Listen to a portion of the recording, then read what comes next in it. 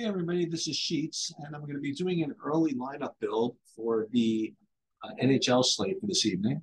It's a rather full nine-game slate. Uh, we're going to be playing the 400, the penalty kill, as well as uh, several entries in the, the kick save. And we're going to go through the same process that we always do. Uh, again, I'm trying my best to uh, just give you some sort of repeatable process to uh, to make you avoid having to come back to these videos all the time. Now, this is using the tools that are available on TrueDFS, um, and we're going to be using what the premium members get a hold of. But you know, this is very similar to even if you didn't have a TrueDFS membership or whatever. This is you could do this when you have any you have any real good set of projections and um, and ownership projections as well. But I mean, obviously, I, I, I like mine. Um, okay, so the first thing we're going to do is again, this is the order. First, we're just going to look through the team totals, then get give ourselves an idea of what teams we imagine are going to be the teams we're going to want to stack and get players from. Then we're going to look at my sheets and see who looks good as individual plays and try to find uh, good individual plays that are on the same uh, line, whether it be even strength or power play or whatever, and try to build a, a lineup off of that information. Then what we'll do is we're going to input all this information in the SaberSim, which we've kind of done already, um, and run two sets of lineups. One uh, using the Saber score metric, which is a pretty good way of uh, building lineups, and also um, using the contest simulation tool, which uh, purportedly uh, tailors your lineups to the exact contest that you're attempting to play. So that's a lot, but you know we'll you know we'll take our time and kind of get through it. Probably get you out of here within a half an hour, but we'll see. All right. So when you're looking at the team totals, we're first of all let's see if there's anybody with a four or higher. Yeah, Pittsburgh's got a team total of about four. And then Dallas is almost four. And then who else? Not really anybody else. Florida's 3.7. I guess that's close. And then it's pretty much it. So those are probably going to be the teams that get targeted. Uh, that would be Pittsburgh and uh, Dallas and Florida. But we'll take a look. Let's go to our sheets and see what we have here. And I'm ranking these by currently by Sheets Value Score, which is a combination of points per dollar and just regular fantasy points. Ownership projections are over here. We're not worried too much about that quite yet, but we'll get back to it. And again, this is the way I, I do it. The first thing that I notice is I try to notice who the top overall value is and currently it's it's Pastrnak for Boston, and and unfortunately, I don't see any other Boston's in the top group here. So probably going to have to pass on the Boston stack here. Um, then you see Dallas. I notice there's not a lot of Dallas guys either. Actually, that's not true. You can get Hintz and, and Heiskanen. Um, so those three all kind of appear here. But then what's really interesting is you get two Nashvilles right next to each other. They're also pretty expensive, those 7,100 7,200, specifically the goalie. But that is certainly something to consider. And then you have Florida, who I kind of alluded to as far as team totals go. And you have two Floridas right here. Uh, and you can pair those all with, with Barkov, for example. Now, while they're not all on the same line, they're certainly on the same power play lines. That is that is definitely something you can do. Um, what else? You have Fabian Zetterlund, which is a good one-off at 4,100, excuse me, 4,000. And you have Hertl on that same line. Okay, so now we're getting somewhere. So these two can lead a really, really good value stack, whether it be a primary or a complementary to go with someone like Dallas or Nashville or something that's a little more expensive.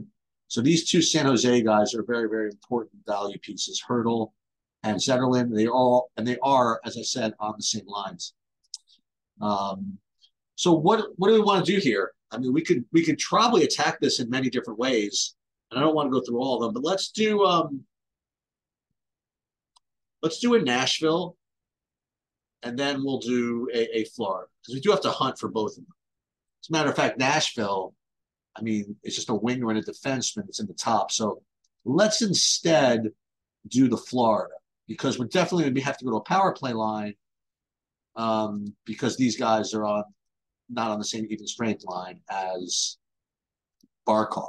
So let's put these guys in for openers, and we'll see what we can build. And we're almost definitely going to uh, going to uh, use San Jose's to complement them. But let's just see. Let's put in um, Florida, and this is oh my god, it's all part of the same late game. Uh oh. All right, so we're gonna go Carter Verhaeghe. We're gonna put Barkov in over here, and then we're gonna put in Tkachuk right over here. So that's a three man.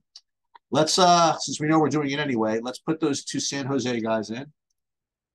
Game stack city here, right? Uh so Verhaeghe and Hertl.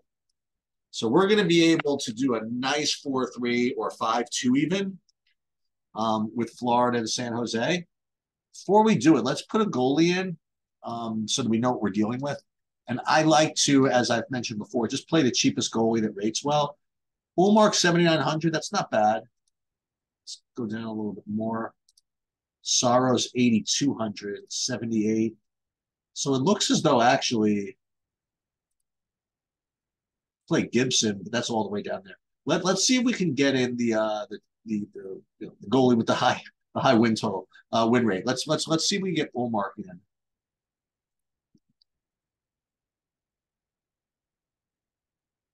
Well, it's not like that great because they're at Buffalo. So now we have 4,200 left to get some value. It's not, I guess it's not as easy as I thought, right? Probably going to have to go into the points per dollar rankings and see what we have here. Let's see. Um, well, you have Josh Anderson at 3,500. That's something. You have Connor Zary at 3,100 for Calgary. And you compare that with Nazem Kadri at 5,600 for Calgary. That's that's sort of interesting. So let's do that. Let's put Kadri and Zary in and see what that gets us. Oh, no, we need a defenseman. Shoot. So we need to do one of these guys, either the Florida or the San Jose defenseman, and then we'll need two defensemen actually.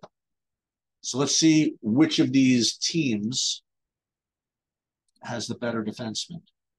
More so the cheaper defenseman. Let's take a look. So Eklund is a wing. Okay, so Forsling at 4K. It's not on the power play line, which is annoying. Let's just take a look at this. Florida defenseman, it would be Ekman-Larsson. He's 4,900. That's no bargain. We'll get back to him in a minute. Actually, let's put him in for now. Ekman-Larsson. So we're running out of money here. Probably gonna have to dip down in goalie as well. Let's go San Jose defenseman. Calen Addison, 3,400. That's actually not bad. That's probably what we're to have to do. So we're going to go Calen Addison.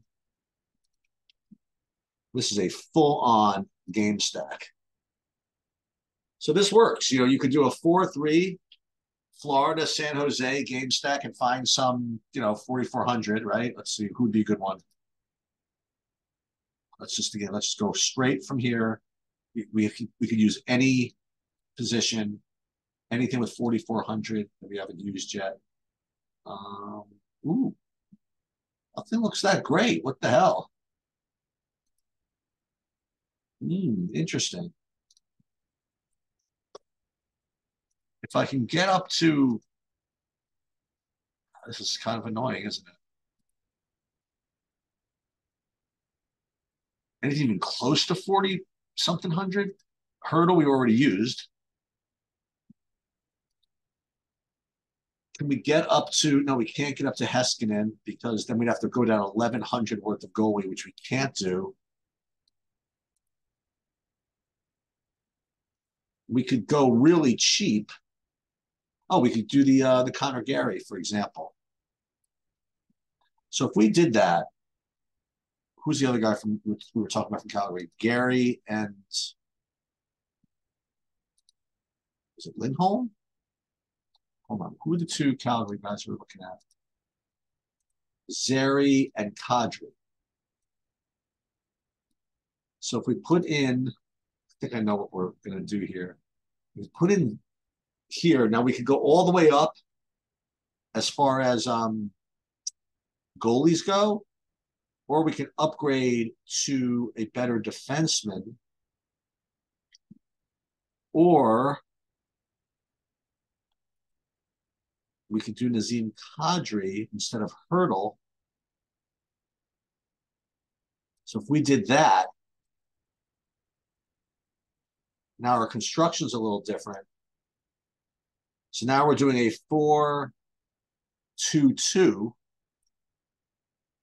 So maybe we can go for that third Calgary guy who would be, well, it would be Lindholm, but we don't need another center. It could be Backlund. No, because he's not, no, he's the wrong line. It has to be a defenseman or a wing. Or just go up and goalie. Hmm. Let me see. So it's we have Verhaeghe, Chuck, Larson, Barkov. I like that. We have a two-man Calgary with Kadri and, and Zary. And then we have two San Jose. So we just want to upgrade one position. We want to spend a little bit more, like 800 on either a utility from San from right from San Jose or from Calgary. So what else from San Jose exists? Let me just see.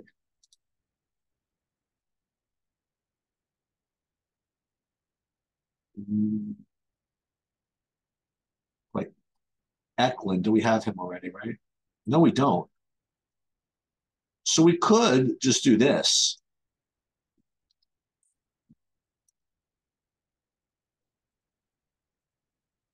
So now we're playing the 4-3 with the one off of Kadri, and that makes sense. And we can upgrade goalie a little bit if we felt like it, but this looks good for now. All right, so let's save this one.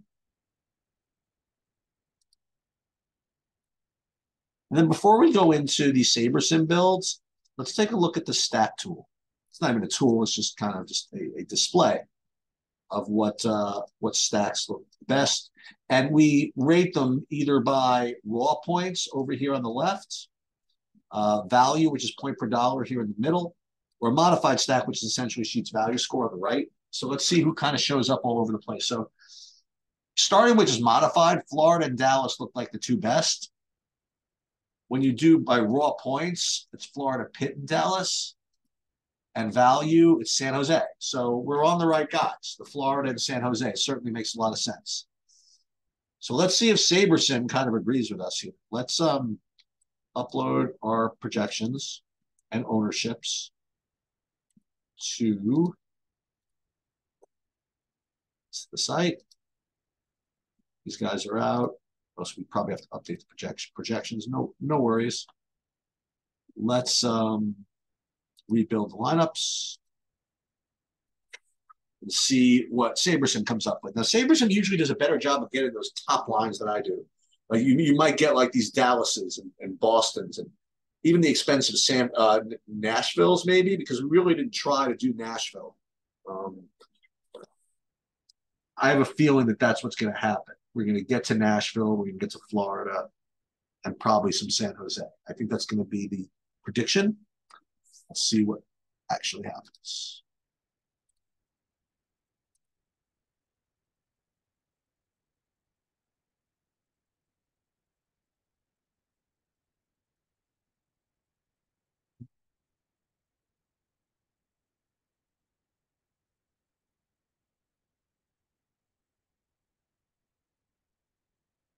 And so it looks as though we'd be getting, um, first of all, lots of four threes, five twos. I'll probably would probably X out all these ancillary stat combinations. But yeah, as I imagine, well, 90% Nashville. Um, but then San Jose, Dallas, no Florida. That's interesting. Well, let's do the uh, the contest sims. And now what we're going to do again is we're we're running our lineups against this you know presumed field of lineups and the presumed field of lineups is based on on SaberSim ownership. Now, there's other ways to do that, um, but that's where it's based on. Not to mention the fact that you know it's it's taken into account how many players, excuse me, how many entries are in these tournaments, and what the prize structure is, and it's you know in the background trying to tailor our 5,000 lineups that we built or pre-built and put them in the right contests. So let's see what we come up with. Right, first of all, let's first look at the uh, the kick save.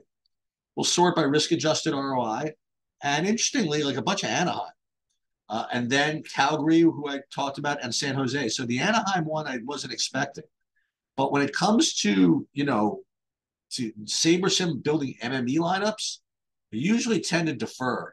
Uh, they usually do a really really good job of it. So um, one thing I will do is I will make this min unique two kind of smooth things out a little bit. And we will just put those in the kick save. Whoops. There's a kick save like so. Um, when it actually comes down to what I probably will do is take a better look at this stack exposure. Make sure I'll just probably dump all these other guys. Um, and just keep the four three five twos, maybe a three three two, maybe a four two two. Let's take a look at the penalty kill. Penalty kill. This looks really um, standard, and we're going to put that in all in three different lineups that have that same structure in the the the qualifier, the blue line, and the penalty kill, just for now. and we will just download those. We will enter them into our contests. We will be ready to go. And this is really what we do, especially with respect to hockey, um, pretty much every slate. Now, again, there's a lot that goes into before we upload these projections, right? um, you know, because we do some tweaks, we do have some takes, and we up we boost guys and reduce them, whatever. But once you have your core set of projections, that's the process that I do to get my lineups in order. Uh, that will do it. Good luck, everybody.